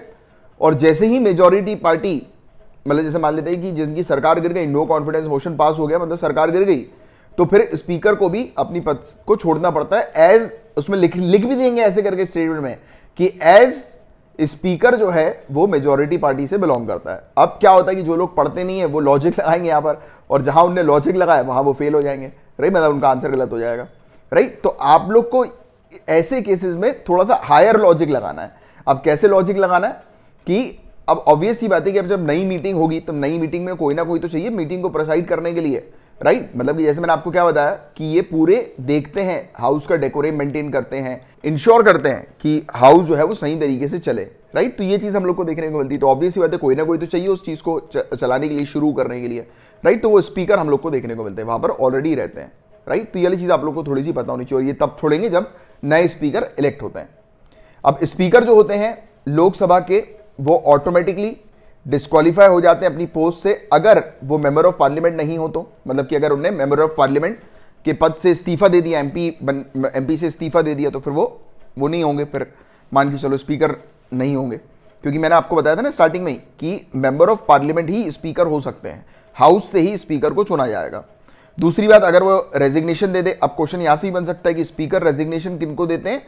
डेप्यूटी स्पीकर को। तो स्पीकर अपने रेजिग्नेशन को पास करते हैं डेप्यूटी स्पीकर को। वो इसलिए क्योंकि स्पीकर की पोस्ट जब खाली होती है तो deputy speaker as a speaker के तौर पर जो है वो एक्ट करते हैं राइट और तीसरी कंडीशन जब अगर वो सेंट्रल गवर्नमेंट में या किसी भी स्टेट गवर्नमेंट में अगर किसी पोस्ट में अपॉइंट कर दिए जाते हैं ऑफ़िस ऑफ़ प्रॉफिट को होल्ड करते हैं, तब उस समय हमें देखने को मिलता है कि उन्हें हटा दिया जाता है डिस्कालीफाई हो जाते हैं वो स्पीकर के पद से। और अगर कोर्ट ने ये बोल दिया कि वो अनसाउंड माइंड के हैं, यानी कि ये व्यक्ति अनसाउंड माइंड का है तो फिर उसे स्पीकर से की पद से हटा दिया जाएगा बट शर्त सिर्फ़ इतनी है कि कोर्ट को यह चीज़ डिक्लेयर करनी है। और अगर वो डिक्लेयर हो जाते हैं अनडिस्चार्ज इंसॉल्वेंट के तौर पर मतलब कि दिवालिया घोषित हो जाते हैं राइट तब उस समय हमें देखने को मिलेगा कि उन्हें स्पीकर की पद से हटा दिया जाता है। और अगर वो दूसरी कंट्री की सिटीजनशिप ले लेते हैं तो भी वो हटा दिए जाते हैं स्पीकर के पद से। इवन उन्हें एक रेजोल्यूशन पास करके भी हटाया जाता है, और मैंने आपको थोड़ी देर पहले ही समझाया था, इस रेजोल्यूशन में अगर टाई होगा तो फिर वो अपने वोट को नहीं डालेंगे राइट क्योंकि जनरल तौर पर हम देखते हैं ना कि नॉर्मल केसेस में जब टाई होता है तो स्पीकर अपने वोट कास्ट करते हैं तो यहाँ पर वो नहीं करेंगे। और साथ ही साथ चेयरमैन होते हैं ये सभी के सभी पार्लियामेंट्री कमेटी के राइट ये वाली चीज़ आपको ध्यान में रखनी है कि जो भी कमेटी इनके द्वारा नॉमिनेट की जाती है तो उन सभी कमेटी के चेयरमैन के तौर पर हमें देखने को मिलते हैं। इन सब कमेटी को, के नाम आप थोड़ा सा ध्यान में रखना। क्वेश्चन ये बन सकता है कि in which committee speaker is the chairman business advisory committee general purpose committee rules committee right तो ये डायरेक्टली स्पीकर की चेयरमैनशिप के अंडर हमें देखने को मिलती है। और कोई भी प्रोसीजरल प्रॉब्लम होती है कमेटी के फंक्शनिंग को लेकर, वो इनके पास भेजी जाती है डायरेक्शन के लिए। स्पीकर के पास भेजी जाती है डायरेक्शन के लिए। राइट तो ये था पूरा ओवरऑल टॉपिक बट मैं आपको एक बार जो हमने पढ़ा है, इसको मैं रिवाइज करवा देता हूँ अच्छे से जैसे कि और बेहतर तरीके से ये टॉपिक आप लोग का क्लियर हो जाए। स्पीकर और डिप्यूटी स्पीकर के इस टॉपिक को और अच्छे से देख लेते तो आर्टिकल 93 और आर्टिकल 178 आपको थोड़ा सा ध्यान में रखना है। यहाँ पर सॉरी राज्यसभा हो गया ये स्टेट लेजिस्लेचर है राइट स्टेट लेजिस्लेटिव असेंबली के मामले में 178 लोकसभा के मामले में आर्टिकल 93 और हमें देखने को मिलता है कि जो ये होते हैं स्पीकर जो होते हैं वो हाउस के ही मेंबर होते हैं हाउस के ही सदस्य होते हैं हाउस से ही इन्हें चुना जाता है। यूजुअली मेजोरिटी पार्टी जो होती है रूलिंग पार्टी जो होती है उससे स्पीकर चुने जाते हैं। स्पीकर मनी बिल के ऊपर डिसाइड करते हैं या, या फिर एक बिल के ऊपर डिसाइड करते हैं कि वो बिल मनी बिल माना जाएगा या नहीं माना जाएगा। इनके इलेक्शन के बारे में कहीं पर भी कॉन्स्टिट्यूशन में मेंशन नहीं किया गया है कि कितने समय में इनका इलेक्शन होगा। बट हाँ अलग अलग स्टेट्स ने अलग अलग अपने नियम बनाए हुए हैं। हमने हरियाणा और उत्तर प्रदेश के बारे में देखा है। इनके नियम की बात करें गई तो सभी मेंबर में से इनको इलेक्ट किया जाता है। सिंपल मेजोरिटी से इनका चुनाव होता है। और साथ ही साथ इनकी वोटिंग पावर की बात करें तो इनको कोई वोटिंग पावर नहीं दी गई है। मतलब कि हाउस के अंदर ये वोट नहीं डालेंगे। बट अगर टाई हो जाता है तो ये अपना वोट डाल सकते हैं। और स्पीकर अपना रेजिग्नेशन देते हैं डेप्यूटी स्पीकर को। इतने पॉइंट्स बस आपको ध्यान में रखने चाहिए राइट जो कि प्रिलिम्स में रिवीजन के लिए काम करेंगे आपको। बट वैसे तो पूरा टॉपिक मैंने जो आपको पढ़ाया, वो इसलिए क्योंकि कहीं से भी पॉलिटी में तो क्वेश्चन उठाकर पूछ लिया जा सकता है। तो आपकी हर एक चीज़ से रिलेटेड अंडरस्टैंडिंग बिल्डअप रहनी चाहिए राइट और होपफुली आपको ये पूरा टॉपिक अच्छे से समझ में आ गया होगा। अब पेपर टू से रिलेटेड सिर्फ़ इतने ही टॉपिक्स थे नाउ हम लोग पेपर थ्री के टॉपिक की तरफ़ आगे बढ़ रहे हैं। अब देखिए, यहाँ पर बात हो रही है ब्रायम भारतीयंसिस के बारे में। ब्रायम भारतीयंसिस। तो ये बताया जा रहा है कि इंडियन साइंटिस्ट जो एंटार्क्टिका में है, इन्होंने एक नई प्रजाति, काई की, काई जो होती है ना, काई, जिसे मॉस हम लोग बोलते हैं, काई तो नई प्रजाति काई की इन्होंने खोज करी है। तो देखो, क्वेश्चन ये बनेगा, इंडियन साइंटिस्ट ने तो खोज करी है, राइट? ये पक्का है? आपसे लोकेशन वाली चीज़ पूछ ली जाएगी तो एंटार्क्टिका आप ध्यान में रखना। एंटार्क्टिका में काई की एक नई प्रजाति खोज की गई है इंडियन साइंटिस्ट के द्वारा।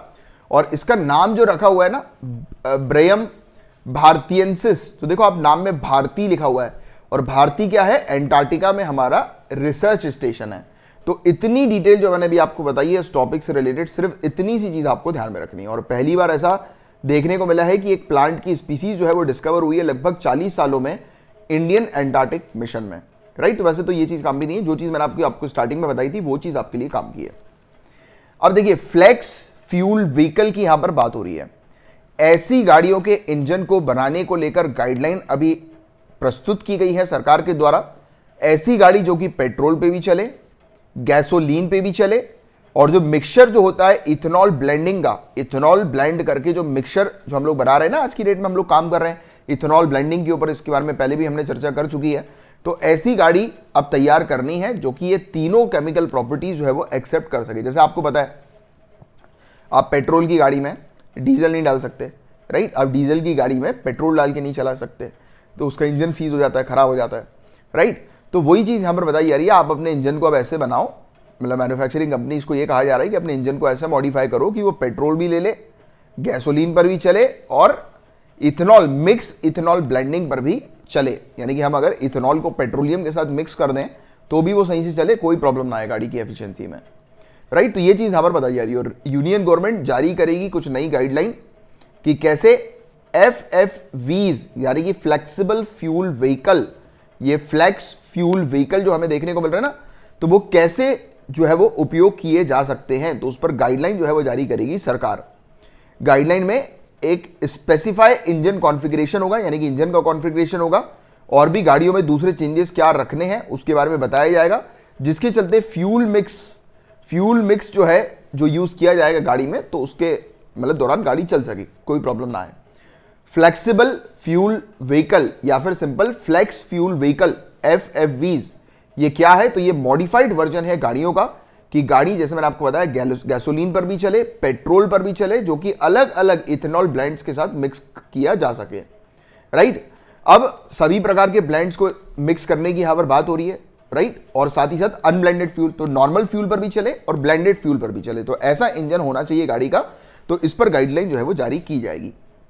और कंपैटिबल इंजन होना चाहिए, जो कि 84 परसेंट से भी ज़्यादा इथेनॉल ब्लेंडेड पेट्रोल, यानी आप पेट्रोल में 84 परसेंट से भी ज़्यादा इथेनॉल डाल दो तो भी गाड़ी आपकी सही तरीके से चलनी चाहिए। कंपैटिबल होना चाहिए आपका इंजन इस प्रकार की ब्लेंडिंग से। तो इस पर गाइडलाइन जारी करेगी सरकार। इसका मेन एम यह है कि आज की डेट में हम लोग जो फॉसिल फ्यूल पर जो डिपेंडेंट है, यानी कि पेट्रोलियम के ऊपर डिपेंडेंट है राइट तो उसको रिड्यूस करना है, क्योंकि इथेनॉल अगर हम लोग मिलाएँगे पेट्रोल में तो ऑब्वियस बात है कि पेट्रोल कम यूज़ किया जाएगा। और ऑल्टरनेटिव फ्यूल इथेनॉल हमें देखने को मिलता है। साठ से बासठ रुपए प्रति लीटर ये मिल जाता है। पेट्रोल आज की रेट में सौ से ऊपर जो है वो छू रहा है, आप जानते ही हैं। तो ये साठ और बासठ रुपए प्रति लीटर की कॉस्ट में जो है वो अवेलेबल हो जाएगा। इथेनॉल मतलब कि हर लीटर पे तीस पैंतीस रुपए कंज्यूमर को बचेंगे तो कंज्यूमर का काफ़ी अच्छा फ़ायदा है।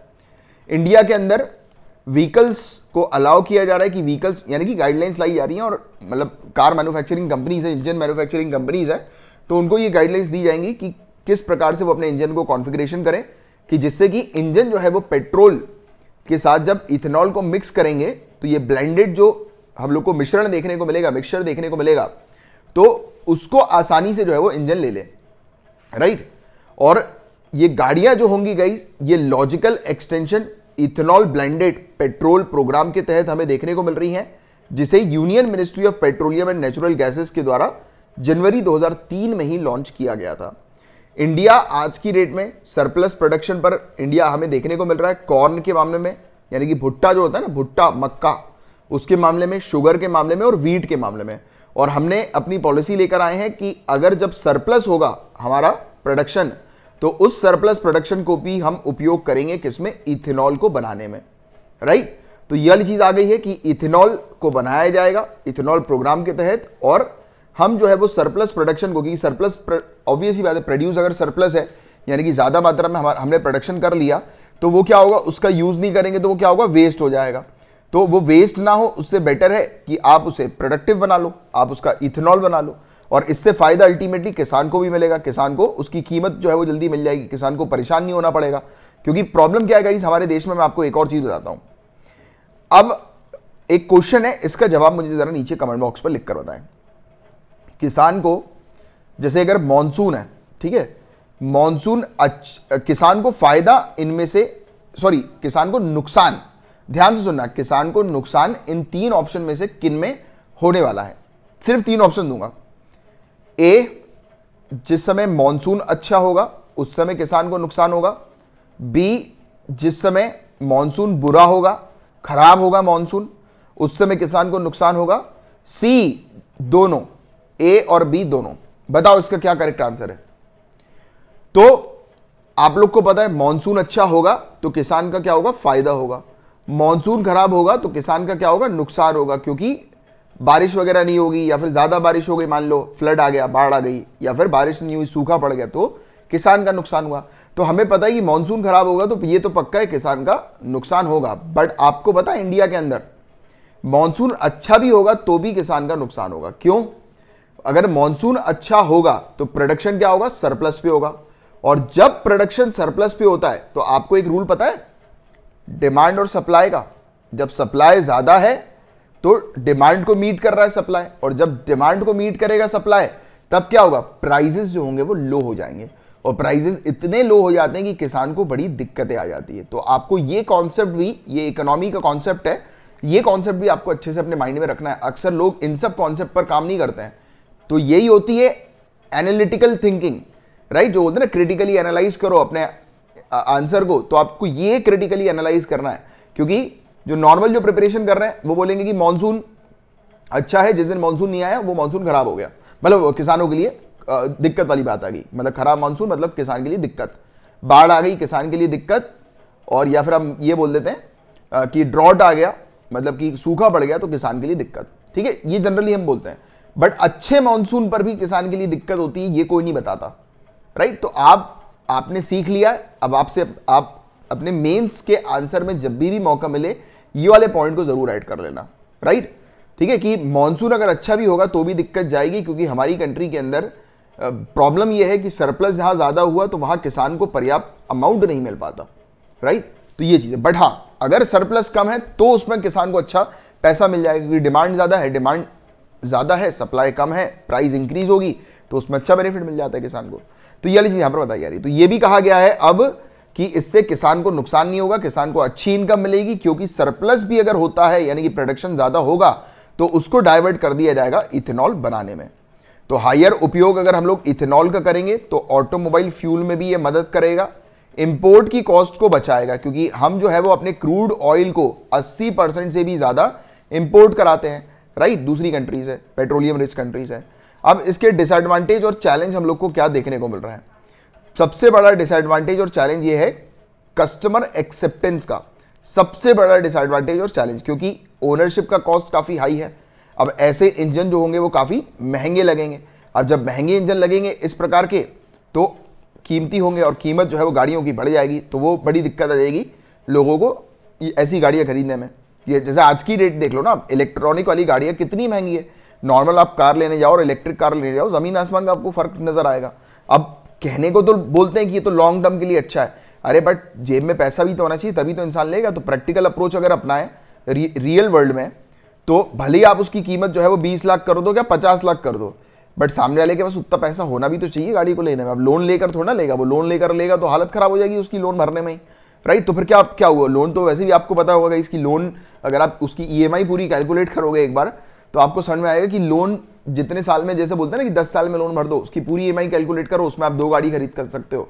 तो उससे बेटर है कि आप अपने पास इन्वेस्टमेंट करो, कहीं पैसा लगाओ, बचाओ गोल्ड खरीद लो राइट वो ज़्यादा ज़रूरी होता है। उससे बेटर है कि आप फालतू में बैंक को खिलाने से बेटर है कि पाँच साल रुक जाओ। अब दस साल की बात करिए ना कि दस साल में आपको गाड़ी लेनी है, पाँच साल रुक जाओ, कहीं इन्वेस्टमेंट कर दो, पाँच साल के अच्छी जगह इन्वेस्टमेंट करोगे ढाई साल में ही गाड़ी खरीद लोगे बट कम से कम आपको लोन वोन के चक्कर में तो नहीं फंसना पड़ेगा, और लोन के चक्कर में फंस रहे हो मतलब कि आप अपनी मेहनत की कमाई गवा रहे हो। और बट हाँ लोन लेना कहाँ पर अच्छा होता है? कंजम्पशन के लिए लोन लेना तो सबसे बेकार है। लोग कंजम्पशन के लिए लोन लेते हैं, वो सबसे बेकार है। आपको लोन लेना चाहिए इन्वेस्टमेंट के लिए। जो स्मार्ट पर्सन होते हैं, वो इन्वेस्ट इन्वेस्ट करते हैं। बिजनेसमैन जो होते हैं, वो लोन लेकर इन्वेस्ट करते हैं। और उस पर वो कमाते और जल्दी जल्दी अपने लोन को चुका देते हैं। तो लोन किस पर्पज के लिए? बिज़नेस एक्टिविटी के लिए राइट बट लोग, हमारे यहाँ पे आजकल तो मोबाइल फ़ोन भी लोन पर जो है वो लिए जाते हैं। ये बड़ी दिक्कतें आजकल चल रही हैं राइट चलो anyways running cost running cost जो होती है, वो भी बड़ी दिक्कत वाली बात हम लोग को देखने को मिल रही है। लोअर फ्यूल एफिशिएंसी अब इसमें प्रॉब्लम ये है, ये भी बताया जा रहा है कि माइलेज माइलेज की बड़ी दिक्कत जैसे एक लीटर आप पेट्रोल पे गाड़ी चलाओगे तो 40 किलोमीटर एग्ज़ाम्पल के तौर बाइक की बात कर रहा हूँ मैं 40 किलोमीटर चल जाएगी, ठीक है? अब अगर आप इथेनॉल के साथ ब्लेंड करोगे 100 परसेंट तो इसकी ये एफिशिएंसी नहीं मिल पाएगी। ऐसा साइंटिस्ट रिसर्चर कहते हैं कि नेक टू नेक एफिशिएंसी होती है बट एक्चुअल में नहीं है, क्योंकि कई जगह, कई सोर्सेज पे ये भी बताया जा रहा है कि थोड़ी सी एफिशिएंसी जो होती है वो कम हो जाती है। तो ये एक बड़ा डिसएडवांटेज और चैलेंज है। फ्लैक्स फ्यूल इंजन की कॉस्ट भी जो होती है वो काफ़ी ज़्यादा हम लोग को देखने को मिलती है, क्योंकि उसकी केमिकल प्रॉपर्टी काफ़ी अलग होती है पेट्रोल से। इथेनॉल जो होता है वो काफ़ी कम उसकी कैलोरिफिक वैल्यू होती है। अब कैलोरिफिक वैल्यू का मतलब क्या होता है? जलना। जैसे कि, क्योंकि देखो, पेट्रोल डालते हैं गाड़ी में। अब पेट्रोल जब कंबस्ट होता है, यानी कि जलता है, तब जाकर एनर्जी मिलती है गाड़ी को और फिर एनर्जी चलती है। तो इसकी जो कंबशन की जो पावर है, वो काफ़ी कम हम लोग को देखने को मिल रही है। तो इसकी प्रॉपर्टी अलग है। और जब प्रॉपर्टी अलग होती है, और गैसोलीन से भी प्रॉपर्टी अलग है, इससे भी अलग है राइट तो ये बड़ी दिक्कत क्रिएट कर देता है। और दूसरी बात अब इंजन में एक प्रोटेक्टिव ऑयल फ़िल्म रहती है इंजन के अंदर। यानी कि आप मान के चलो, इंजन के अंदर एक लेयर लगी रहती है, जो कि उसे प्रोटेक्ट करके रखती है। ठीक है? अब क्या होता है, ये इथेनॉल का सॉल्वेंट कुछ इस प्रकार का हम लोग को देखने को मिलता है कि वो उसको फाड़ देता है। उस पर्टिकुलर प्रोटेक्टिव लेयर को फाड़ देता है, जो कि गाड़ी के लिए काफ़ी नुकसानदायक है तो उसका मेंटेनेंस कॉस्ट जो है वो काफ़ी हाई हो जाता है। राइट तो ये चीज़ हम लोग को इसकी देखने को मिलती है। तो इसके बारे में एक आपको जनरल सा आइडिया होना चाहिए, जानकारी होनी चाहिए। अब देखिए नासा के वाइपर मिशन की बात हो रही है। पहली बात तो वाइपर मिशन कब लॉन्च करेगा नासा? तो इसने बताया 2023 में लॉन्च करेगा। 100 दिन का ये मिशन होगा नासा का। और नासा क्या कर रहा है? इस वाइपर मिशन के थ्रू अपने एक रोबोट को, यानी कि रोवर आप बोल सकते हो, ये रोवर, रोबोट को मून पर भेजेगा, चाँद पर भेजेगा। और चाँद के कौन से? इलाके पर, पोलार इलाके पर।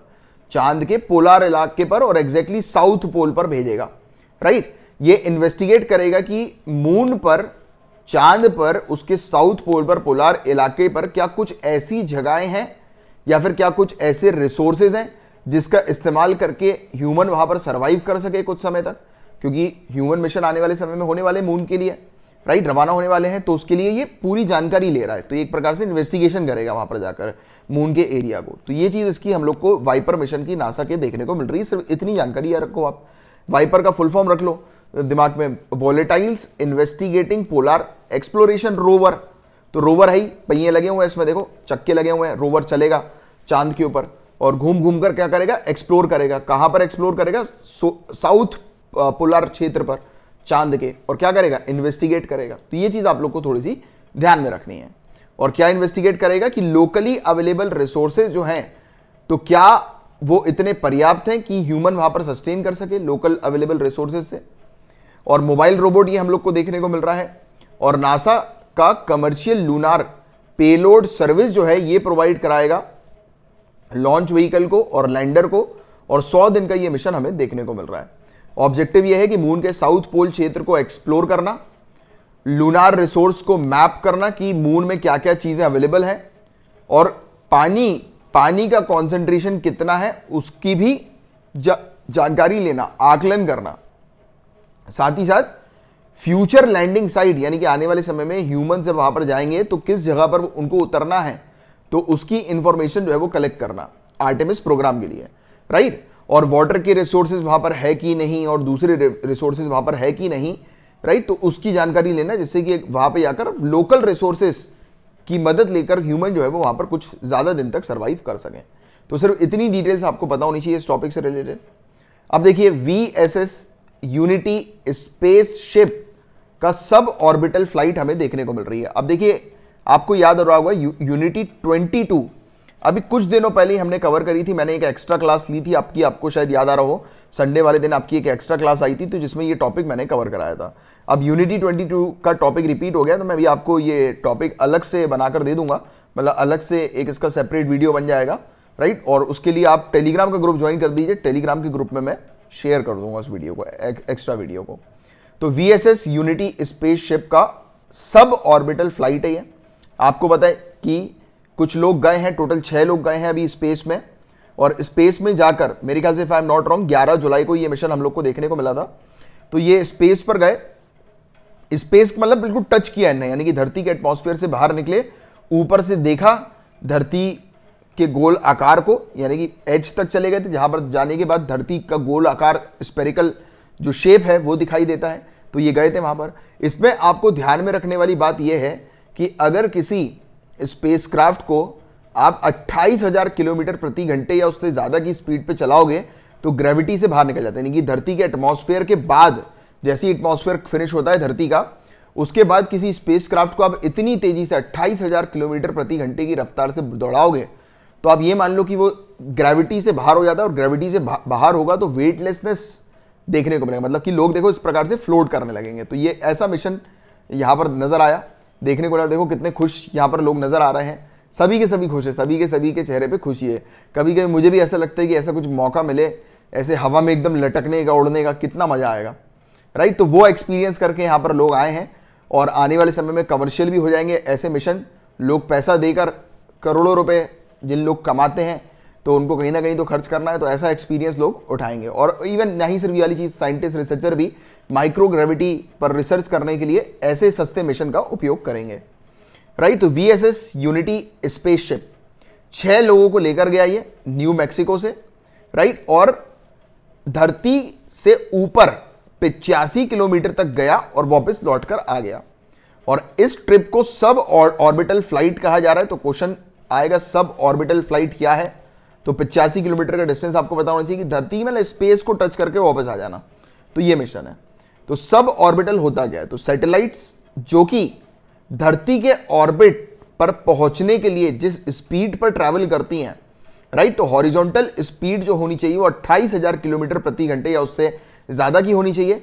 ऐसी स्पीड जो होगी धरती के एटमॉस्फेयर के ऊपर ऑर्बिट में जब ऐसी स्पीड होगी, तब हमें देखने को मिलेगा कि सैटेलाइट जो है वो ग्रेविटी धरती के ग्रेविटी को छोड़ देगी और इस प्रकार का माहौल वेटलेसनेस का माहौल जो है, वो बन जाएगा।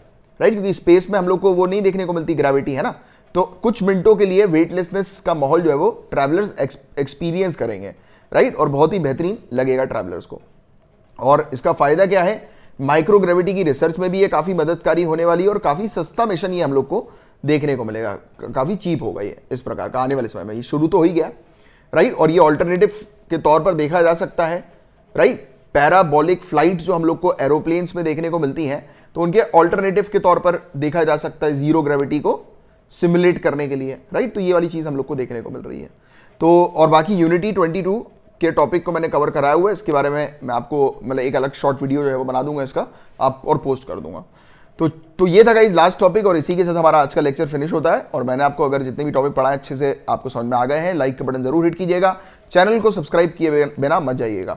और देखिए, कुछ कोर्सेज हमारे अवेलेबल हैं। अगर आप सीरियसली सिविल सर्विसेज़ की तैयारी कर रहे हैं तो हमारा पॉलिटी का कोर्स है इकोनॉमिक्स का कोर्स है इन्वायरमेंट का कोर्स है, ऐसे काफ़ी सारे कोर्सेज हैं। बट मैं आपको बताता हूँ, सभी कोर्सेज में हमने क्या चीज़ की हुई है कि सिलेबस के अकॉर्डिंग आपकी तैयारी करवाई जा रही है।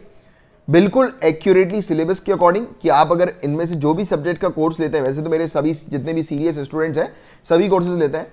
तो सिलेबस के अकॉर्डिंग सिलेबस के अकॉर्डिंग आपको पूरा कंटेंट मिलता है, पूरे वीडियो लेक्चर्स इसमें अवेलेबल हैं, हर एक टॉपिक का कॉन्सेप्ट आपका क्लियर किया जाता है, आपको स्टडी मटेरियल पीडीएफ के फॉर्म में दिया जाता है, और आपको प्रिलिम्स और मेंस के प्रैक्टिस करने के लिए क्वेश्चन भी आपको लेक्चर के दौरान प्रोवाइड किए जाते हैं। तो आप देख सकते हैं पूरी डिटेल्स स्क्रीन पर लिखी हुई है, फिर भी कोई समस्या आती है तो इस मेरे नंबर पर व्हाट्सएप या टेलीग्राम के थ्रू आप मुझसे कॉन्टैक्ट कर सकते हैं। वैसे ही हमारा एनवायरमेंट का कोर्स है, हमारा इकोनॉमिक्स का कोर्स है सी सेट का कोर्स अवेलेबल है हिस्ट्री का कोर्स अवेलेबल है और यूपीएससी की टेस्ट सीरीज़ भी अवेलेबल है और करंट अफेयर्स के नोट्स बनाने की आपको आवश्यकता नहीं है। मात्र हंड्रेड रुपीज़ पर मंथ की फ़ीस में आपको ये सब फैसिलिटी प्रोवाइड की जाती है। एक ऑफ़र भी है, इस ऑफ़र को भी आप ले सकते हैं और करंट अफेयर्स के क्वेश्चंस अगर आपको प्रैक्टिस करने के लिए चाहिए तो वो फैसिलिटी भी अवेलेबल है। ठीक है? और कोई समस्या आती है तो मैंने आपको बता दिया, आपको कहाँ पर कॉन्टैक्ट करना है। तो चलो फिर मैं आपसे मिलूँगा नेक्स्ट लेक्चर में, तब तक लिए bye take care have a great day head Tata.